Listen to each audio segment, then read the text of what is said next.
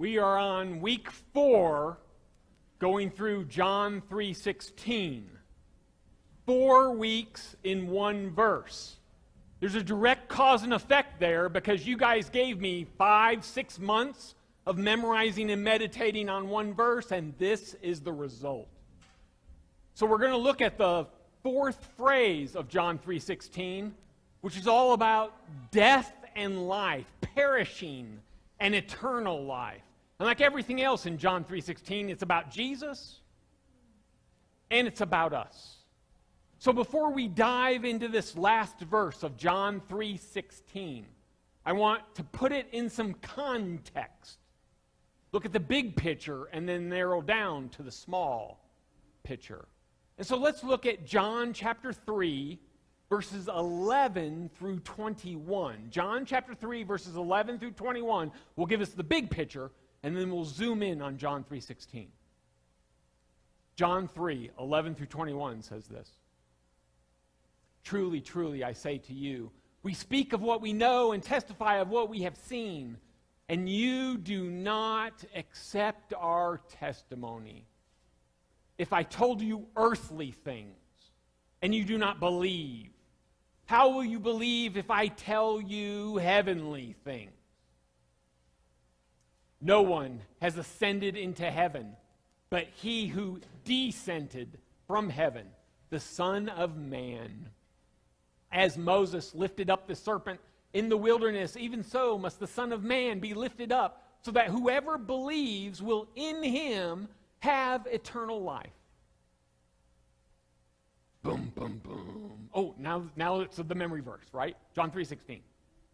For God so loved the world that he gave his only begotten Son, that whoever believes in him shall not perish, but have eternal life.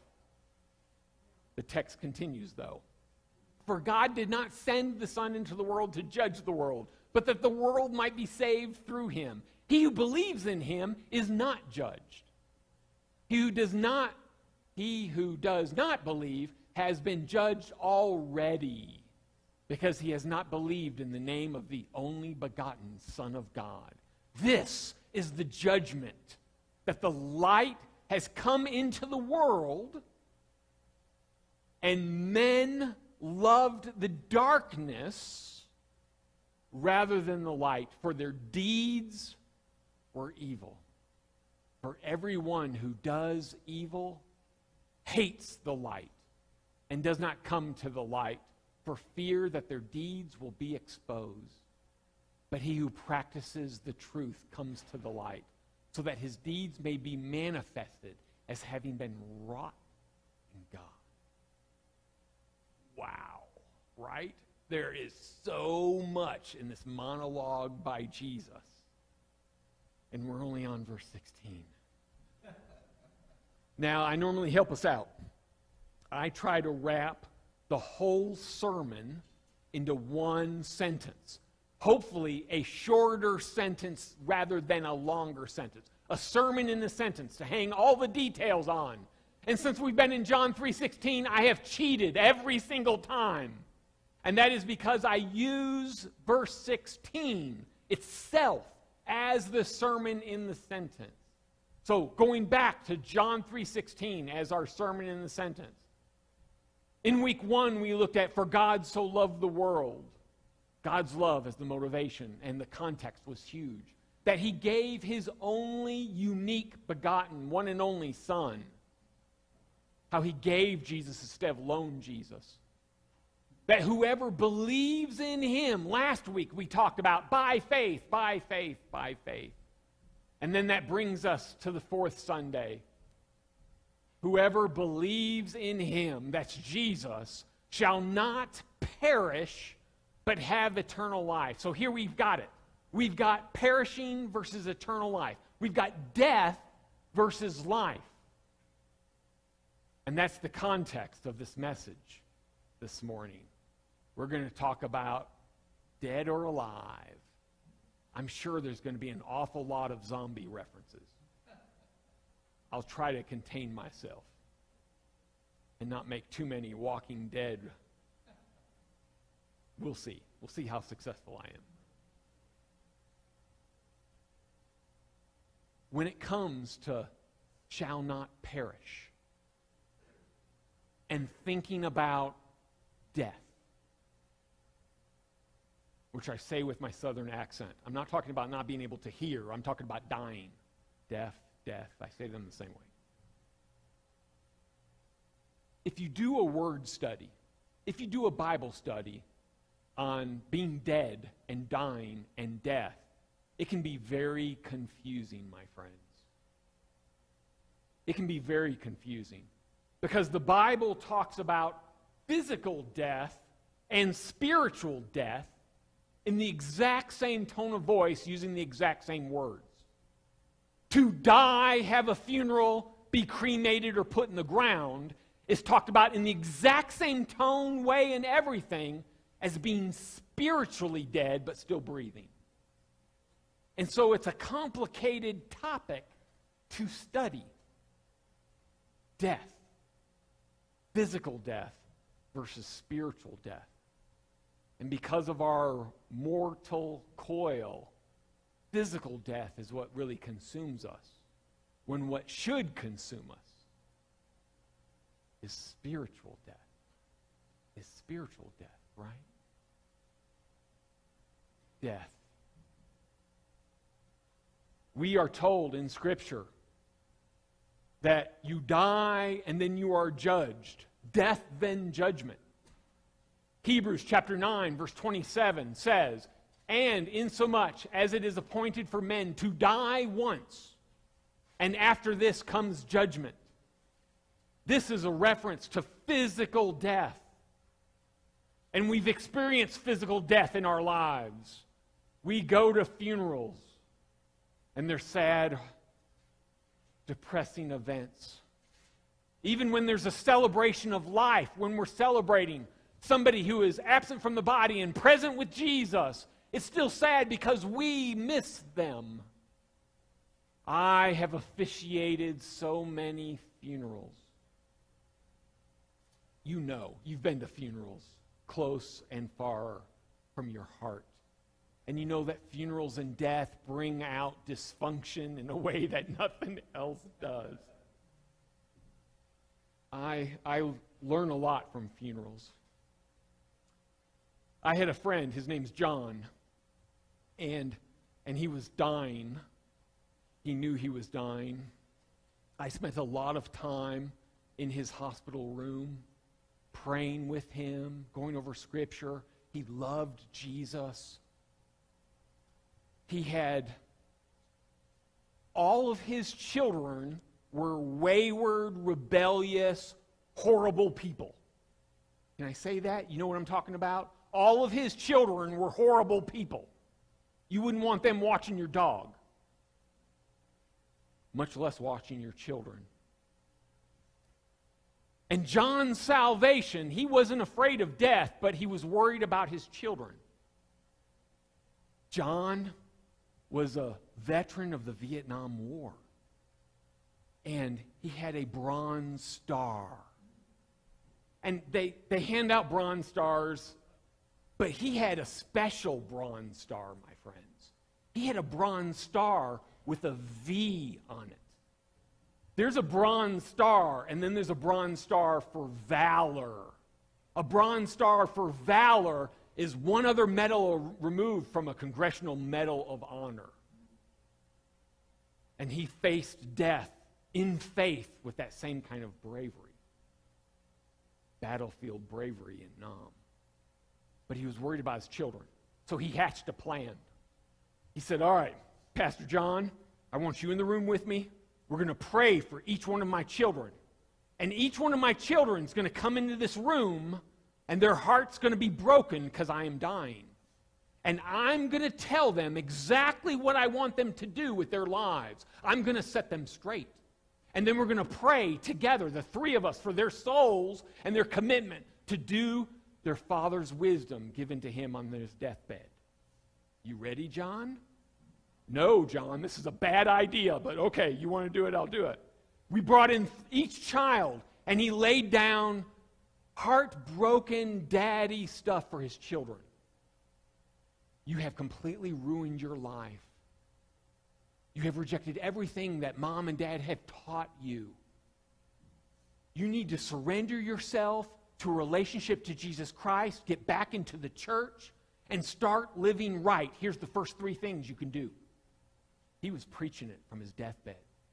All three children, individually, were broke down in tears. They were weeping in a way that you can't imagine crying. They were saying, Yes, Dad, yes, Dad, yes, Dad.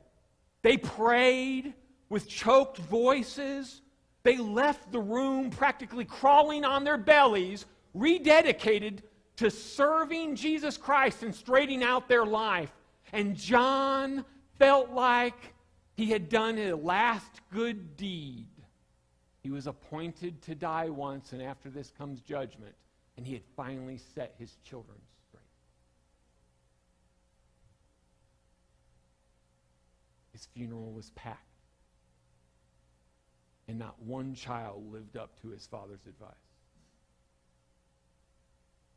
The Hail Mary at death didn't take, which is what I tried to tell him. But it was a good effort.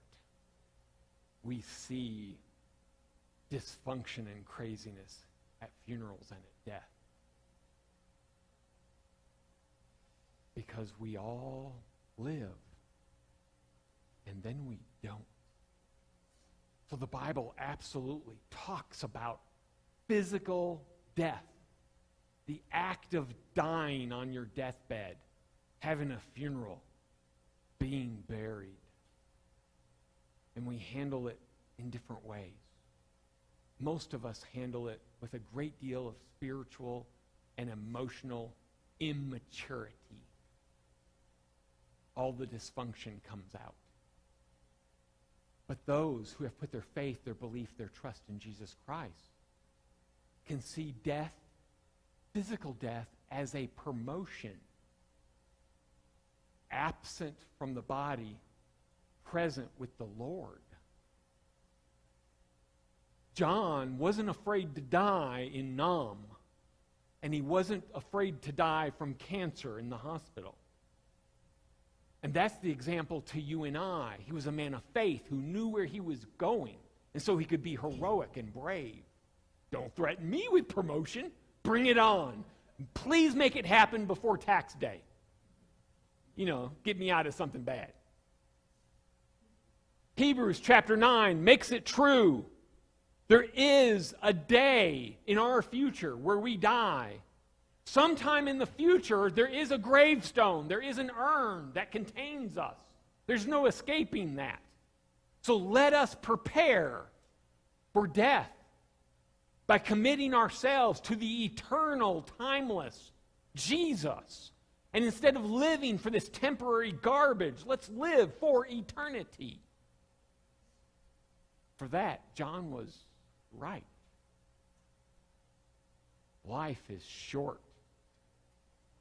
and it is sweet.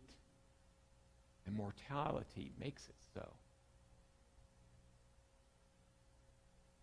Spiritual death. Let's leave physical death behind now that I've bummed you all out and you're thinking about your funeral.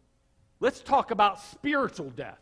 We have, we have a lot of experience with physical death, but now let's change the subject and talk spiritual death. Spiritual death in the Bible is about the absence of God. Spiritual death in the Bible is the same as the absence of God. God doesn't go anywhere, we reject Him. God loves everyone, wants everyone to be saved, wants everybody's name to be written in the Lamb's Book of Life and spend all eternity in heaven. But the majority of humanity rejects that.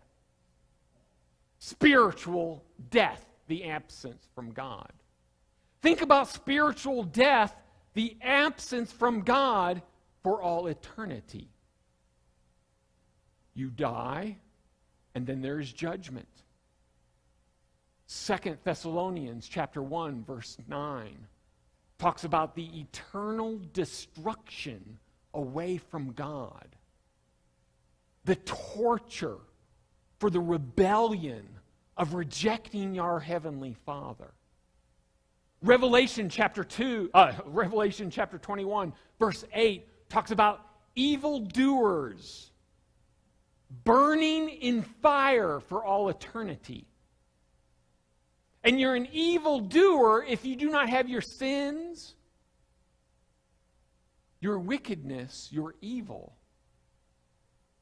deleted, cleansed, expunged by the blood of Jesus Christ. We like to talk about heaven and the rewards and joy and paradise of heaven, where there will be no mosquitoes and no taxmen, I assume. There's no scripture verse that says that. That's an assumption of mine. But we don't like talking about the other, you know. Hell, Hades, damnation, the fire that does not quench. My friends, if heaven is real, so is hell.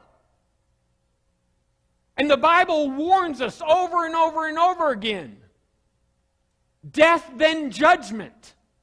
Death, then judgment.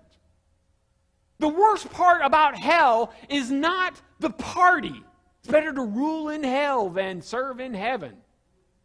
Have you heard that nonsense?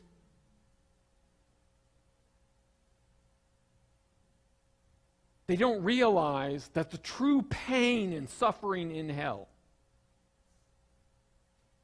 isn't the fire that quenches, that doesn't quench, the worm that's never satisfied but the most horrific thing in hell is the isolation. The quarantine. We've all got the quarantine blues, right? You are quarantined and you are isolated from the Creator God. You are quarantined, you are isolated from your friends and family. There's no partying going on. There's no hanging out with your bros. You're suffering in pain, completely cut off from everyone and everything, including God. That's the reality of the pain and suffering and torture of hell. Hell is real. We don't like to talk about it, we don't like to think it, and we don't actually believe it. Come on, we don't. You don't really believe in hell. It's, it's this idea, oh, hell. But it makes no impact, it leaves no evidence in the way we live our lives. It does not. I know it does not because we are the children of God, put on mission right here, and we are surrounded by 300 million souls right here, right now, on the highway to hell, damnation and torture, absence from God, and you and I have the tool to save them. You and I have the message that can change their eternal destination. And God has left us on the planet to be the voice and the hands and feet of Jesus so that people will hear the message of Jesus, be rescued from the path of hell, and go to heaven. And what do we do? We shut up. We sit together, the saints, and we talk about how evil and wicked the world is and do nothing about it. We're too busy selling yard sale goods to share the gospel with the lost.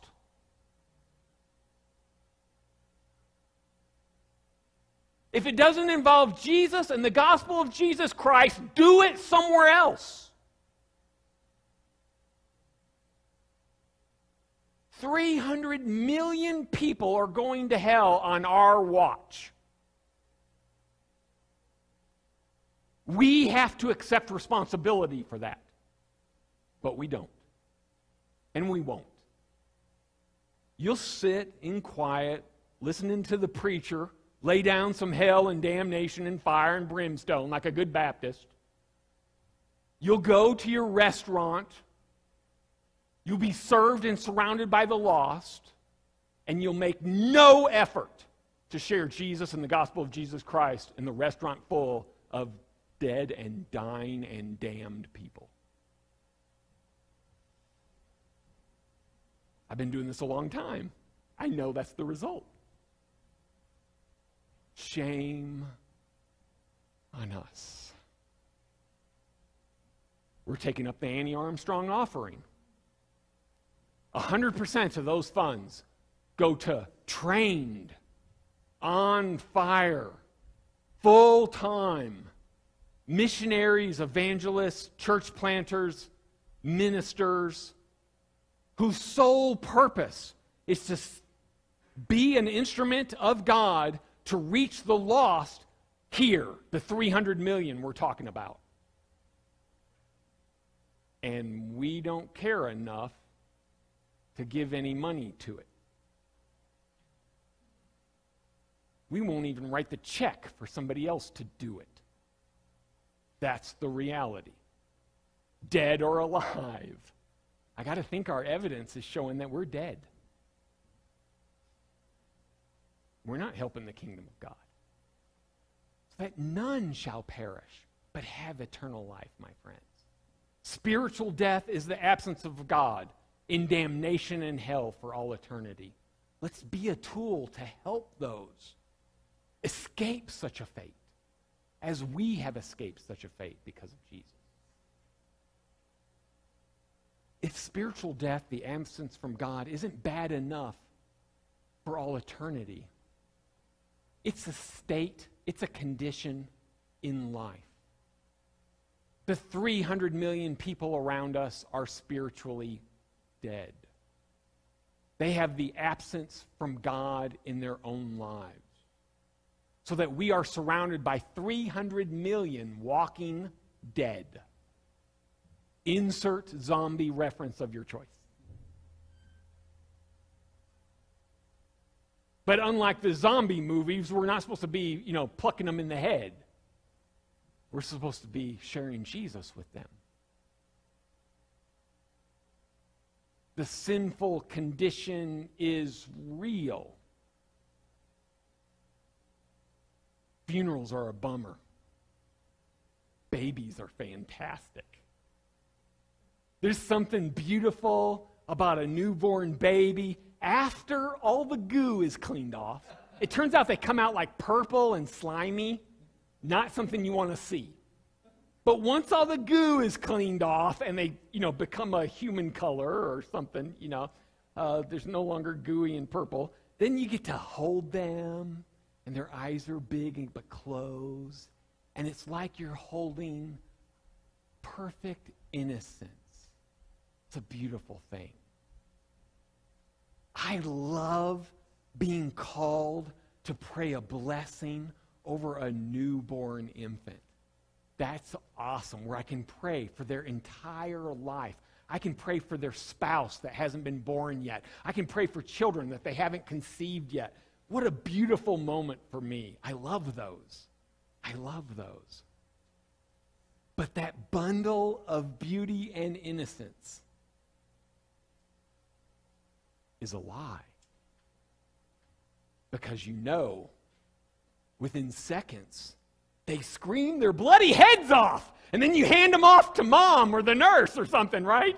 Ah, here. We aren't, in fact, born innocent. Scripture is clear. We are, in fact, born diseased and cursed and broken. No wonder we're all dysfunctional, because there's no such thing as something not dysfunctional. We are born broken, diseased, and dysfunctional. You see it as toddlers. We even have a phrase for it, right? We call it the terrible twos.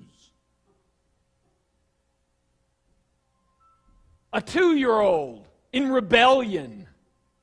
Not just them, but it was you. We did it, and we were good at it.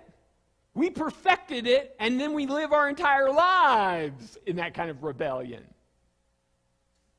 The lie that we buy into is that somehow we can be good enough to fix ourselves, where we can be our own rescuer, our own Savior. Even though the Bible tells us that our very best good deeds are as filthy rags. They're garbage. Romans chapter 6, verse 23 For all have sinned and fallen short of the glory of God. All, everyone needs Jesus because everyone without Jesus has the absence of God and is spiritually dead. Spiritually dead. Spiritually. You see that in the first three chapters of Genesis, right? Chapter 1, God creates stuff with the spoken word. Chapter 2, you've got Adam and Eve. One rule, one rule. You can eat from all this entire orchard of plenty, but don't eat from that one tree. Just that one tree. And of course, you know the story. The serpent, the enemy, has to go into this long, has to go into this long diatribe, trying to convince Eve to do wrong. And finally, he succeeds. He gets Eve to do wrong. How is Adam corrupted? Honey, take a bite of this. Yes, ma'am. You know, that tells you everything you need to know about the gender relationship right there.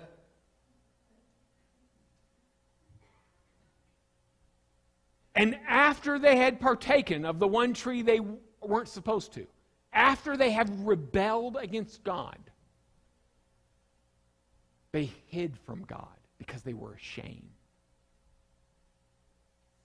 And God kicks them out of paradise. And every generation born after Adam and Eve, every generation is born with that scar, that disease, that curse, that brokenness, The theologians, the Bible scholars, the, you know, those people, they've got a term for it original sin. Another term that's used is ancestral, ancestral sin, where we are born with the sin of Adam in our infancy. It's true. It's why we need Jesus. So we are born spiritually dead. We are born absent from God. And we need an infusion of Jesus and the gospel of Jesus Christ in order to save us, in order to rescue us. We are the living surrounded by the dead. Let's behave like it and be the EMTs God wants us to be dead or alive, my friends? Dead or alive? Are you spiritually dead now? Even the living dead come to church. Where is the evidence that you're alive in Jesus? prove it.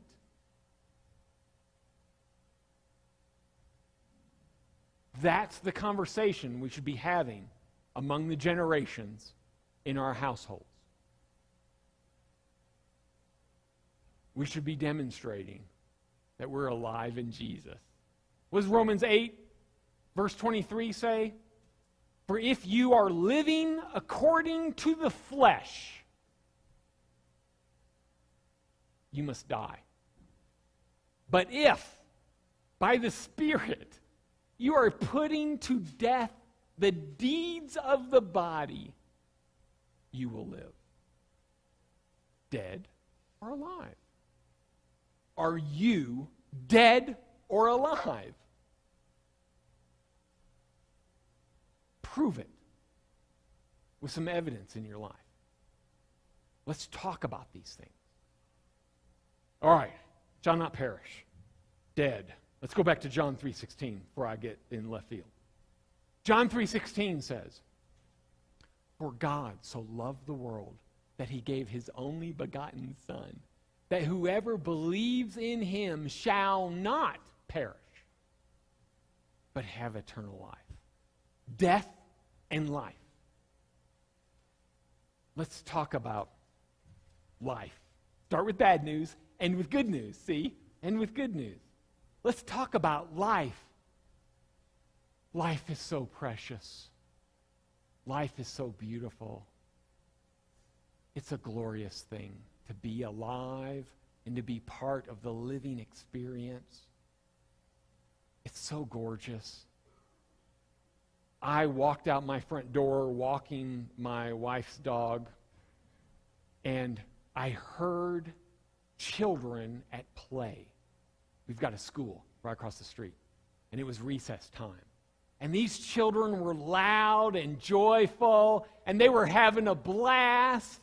And it just filled my heart full of joy in a way that only children can do, right? It's beautiful to see children playing outside and having fun on the playground. And then I noticed that the children's noise off in the distance was contrasted by bird song. The birds were singing around me. Why? Because it was spring finally. And so I'm there with the dog on the leash. I'm listening to this, this, this joyful sound of children and then bird song. And I had one of those moments. One of those moments when I'm living in the actual present moment. Have you had one of those? Where instead of you're just numb and quickly going to one thing or another, you, all of a sudden you go, This is it. This is beautiful. This is glorious. I, I feel alive right here and now. I feel the presence of the Creator right here and right now. I soaked it in, you guys. And it was like, it was like pure energy from heaven. And then I had to pick up poop from the dog. you know, it's good. It's good to have a, a divine moment and then humility you know, it, it balances all things out. Life is precious. Life is beautiful. Scripture tells us that you and I are fearfully and wonderfully made. Scripture tells us that God knew who we are and who we would be before He knit us in the womb. Think about that. Before the cells started to divide, God had you figured out. None of us are an accident. We are made in the image of God, and we need to celebrate that. We need to look for the image of God in people and then be inspired by that. Life is absolutely a gift, and we shouldn't waste it with nonsense. We shouldn't waste it toiling for the garbage.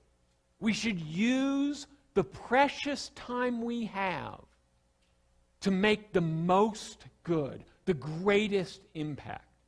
Time is the only resource that is absolutely limited. You can't buy more, you can't get more. You can't ration it out. All you can do is spend it correctly. That'll keep you up at night. Scripture also tells us that our end mark is set before we are born. Before the cells divide in mama, God has already decided your last day. Before I was born, God knew what day I would die. I'm glad I don't know. I'm too shallow. I would probably, uh, you know, use that knowledge wrongly. We're not guaranteed anything. We're not guaranteed today. Somebody may die today, and this is our last moment. You're not guaranteed next year.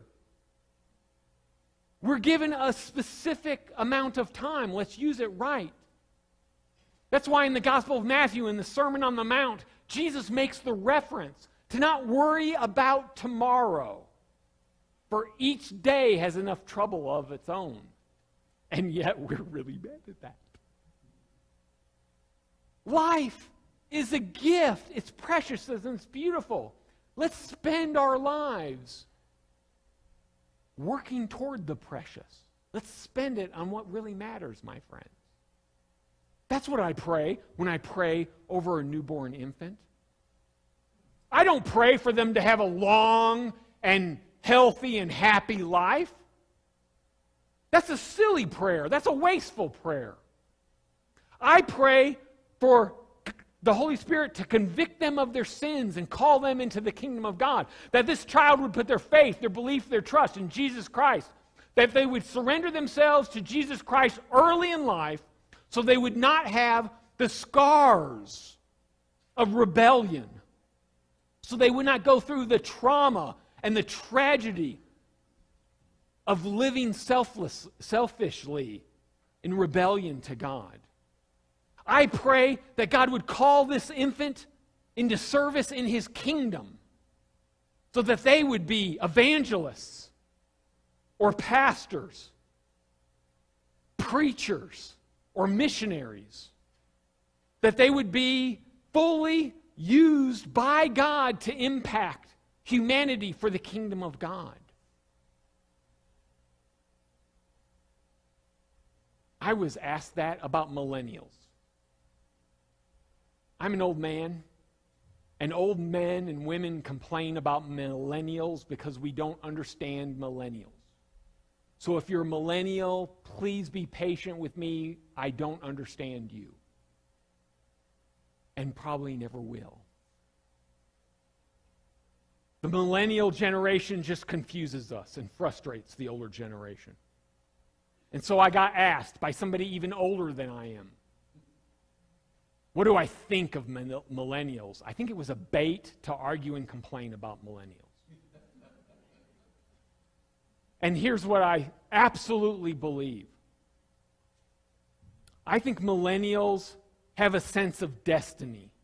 They think they were born with a purpose, and they want to leave the planet in better shape than they found it. I think that qualifies that entire generation of millennials. I think that's true. I, I don't think it's original. I think I read that and totally stole it. They have a sense of divine purpose and they want to leave the planet better than they found it. That's why all that environmental stuff, all the social stuff, all the culture stuff is going the way it is going because the millennials want to leave the place in better condition than they found it something we have not done. We've left the world in a worse condition than we found it. They're trying to fix our mistakes. And I think that's true. But I know something to add to that. Can you imagine what God could do with a generation of people who, without God, feels a sense of divine purpose? They were born for a reason, and they want to leave the place better than they found it. Can you imagine what God can do with that? Can you imagine if He raises up the entire generation of millennials to serve the kingdom of God so that they have a sense of divine destiny that us old people have never bought into. And they want to leave the planet in a better condition than they found it. So they want to reach the 300 million around them that are going to hell so that souls will be saved. I can see how the millennial generation could be an instrument of our all powerful Heavenly Father God to reach all humanity. They may be the greatest missionary evangelistic force in the history of humanity. Bring it on, God. What God needs is for us old people to get out of the way and shut up. Because when the millennials come to church, we want them to conform to our mistakes instead of bracing their potential. Life is precious and short. And I can see the potential of God working in the millennial generation to use their precious days to fix my mistakes and to change the world for the better. Church historians call those things great awakenings. And depending on how you count great awakenings, there's either been three or 12. I don't have that many fingers. I got to keep it down to a single digit. I think there's a great awakening possibility here. It's totally doable. Praise the Lord for what he is doing. Life is a precious gift. Life without God can be seen in the way people live their lives in absolute selfishness So people live their entire lives focused in on me, me, me, iniquity, sin, evil. They're living in death, and they are spreading that kind of death culture around them. That's who we have around us. You can be physically alive and spiritually dead. That's actually the normal condition of humanity. To be spiritually alive is the unique oddball. We're the minority in humanity. We can only be alive in God because of Jesus Christ, because of putting our faith, our belief, our trust in Him. It's an act of God that saves us. Life without God is the reality of the people around us. Jesus is the embodiment, the personification, the being of life. It's all wrapped up in Him, my friends. Life in Jesus when we put our faith, our belief, our trust in Jesus Christ, and we come to Him scarred, broken, diseased, and dysfunctional, Jesus saves our souls, writing our names in the Lamb's book of life and changing our eternal destination from hell to heaven. But He also does so much more. He heals us from our sin, our evil, and our wickedness. If you will confess with your mouth your sin, God is faithful and will forgive us our sin and cleanse us from all unrighteousness. So that instead of a sinner doing what a sinner does, and that is sinning, God shatters that entire image. And now you are a forgiven sinner. And the chains of bondage to sin and Satan are completely shattered because he has healed us from the addiction and the status of sin, evil, and wickedness. Therefore, we can have victory in Jesus. And the Bible talks an awful lot about both of those. In Jesus Christ, when you put your faith, your belief, your trust in Jesus Christ, we have life in victory against sin, but we also have life being restored and healed. God steps into our lives and he blesses us by putting us back together he makes us whole again. When I came to faith in Jesus Christ, I knew I was a sinner. I was a senior in high school. I had totally screwed up my entire life. I knew I had done it. I heard the gospel of Jesus Christ. I put my faith in Him. I asked for the forgiveness of my sins. I surrendered myself to Him being boss, master, and Lord. And when I did that, it was like there was a huge weight lifted off my shoulders. It was like I was carrying a 400 pound beam on my shoulders like this, and it was weighing me down, and that was my continual life condition. But when I put my faith, my belief, my trust in Jesus Christ, He restored me by removing that beam, and I felt free, light ready to dance and shout for joy. I wanted to throw a party, not knowing that Baptists aren't really good at that. You probably have the same experience when you came to faith in Jesus Christ and you felt restored. The lights were brighter. You were on fire for what Jesus was going to be doing. You read your Bible. You memorized Scripture. Every time the door was open, you went to church. And then it slowly faded. Like the beginnings of a beautiful romance. The flames cool.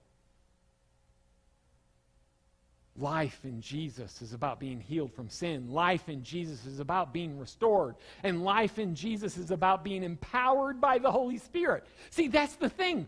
We don't have to do it in our own strength. We don't have to do it in our own strength. It's really it's really not up to us.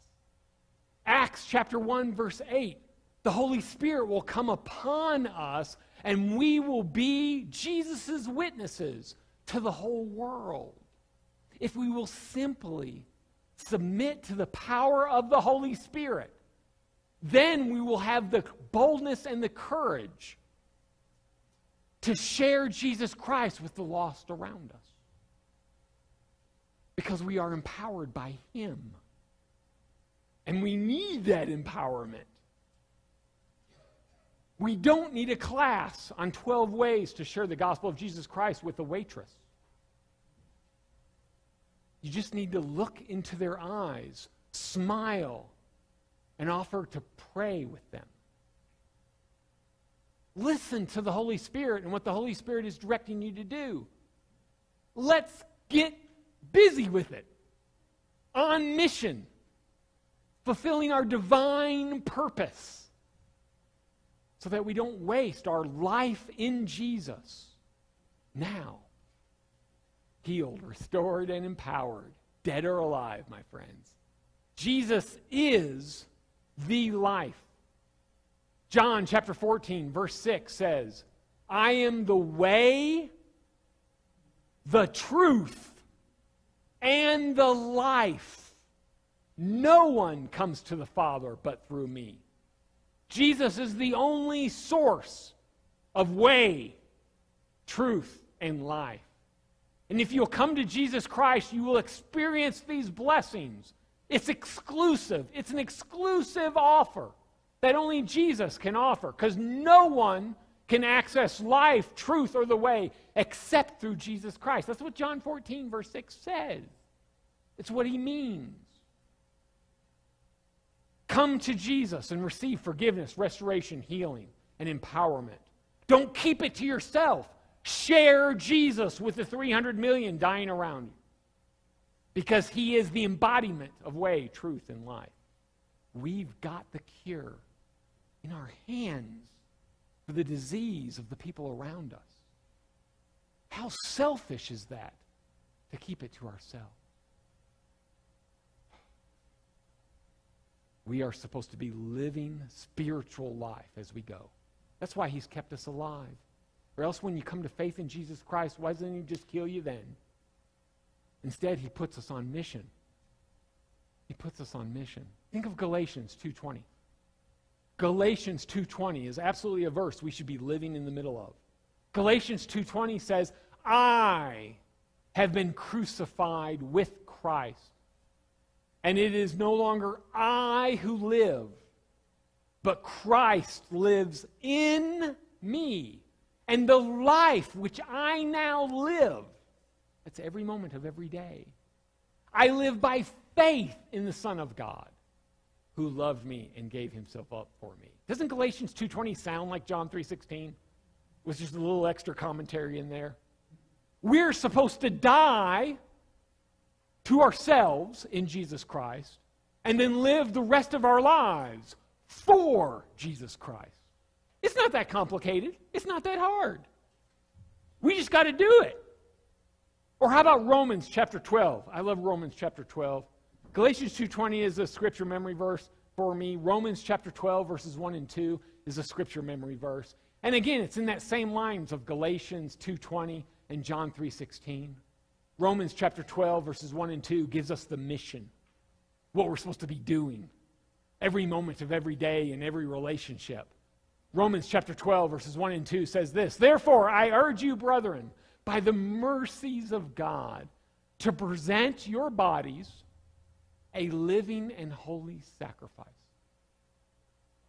Selfless, sacrificial dying. Acceptable to God, which is your spiritual service of worship. Our lifestyle all week long is a spiritual service of worship. We do it in sacrifice. And do not be conformed to this world. Don't be like the dead because you're alive in Jesus. But be transformed by the renewing of your mind so that you may prove what the will of God is, that which is good and acceptable and perfect. We can do this, my friends. If you're alive in Jesus Christ, I beg you, please, please, for yourself, for the kingdom of God, for Jesus, for Layton Hills Baptist Church, for the 300 million, please live like you're alive in Jesus. And if you're dead, then come to Jesus for life. Pray for Jesus to save you from your sins and to become your boss. your master, your Lord, and let him step in and forgive you, heal you, restore you, and empower you, and then start living your sacrificial life, not conformed to this world, but transformed. Do it. Don't be dead anymore. Are you dead or alive? Dead or alive? John 17, verse 3 says it clearly. And this is eternal life, that they know you, the only true God, and Jesus Christ, whom you have sent. Life eternal isn't about the longevity, but is it about our relationship with God? Praise the Lord. Are you dead or alive?